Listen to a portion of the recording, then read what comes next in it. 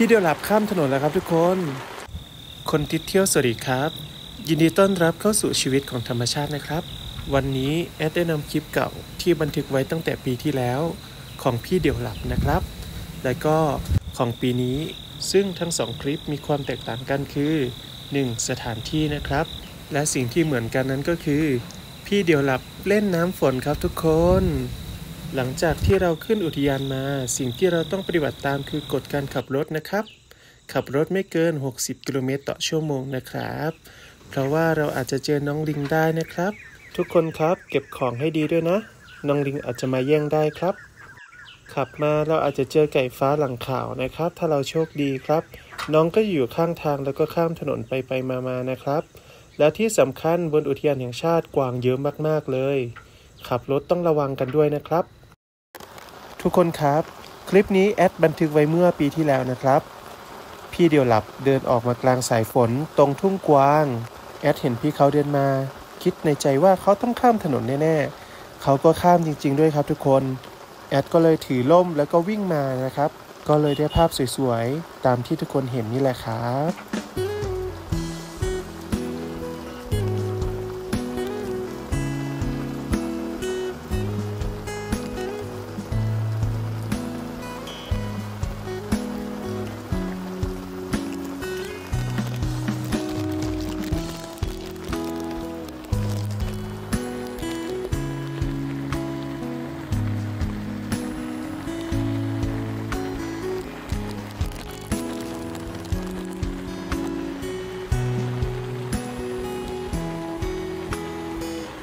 พี่เดียวหลับก็เดินข้ามมาแล้วครับ อย่างสบายใจครับ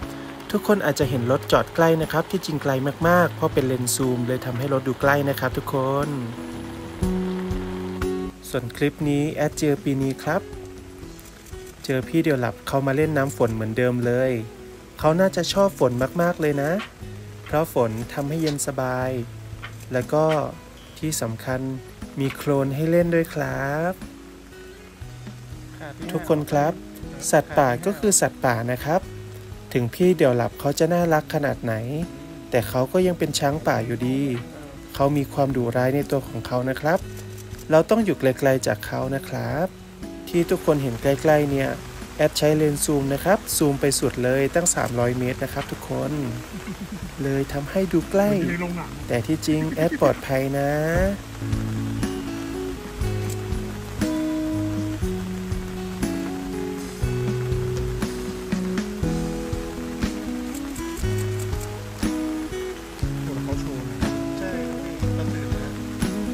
และสุดท้ายนี้ก่อนจบคลิป แอดอยากจะบอกทุกคนว่า อย่าฝากอะไรไว้นอกจากรอยเท้า และอย่านำอะไรกลับไปนอกจากภาพถ่ายที่สวยงามและความทรงจำที่ดีนะครับ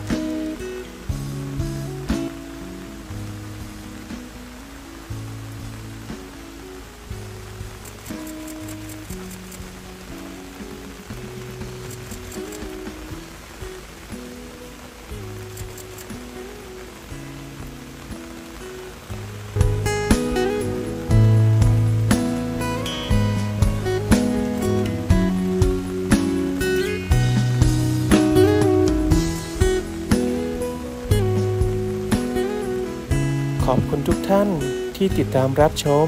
คนติสเที่ยว แอดฝากกดไลค์ กดแชร์ กดติดตามให้ด้วยนะครับ และที่สำคัญกดกระดิ่งด้วยนะ เผื่อแอดลงคลิปทุกคนจะได้ดูเลย คนติดเที่ยว สวัสดีครับ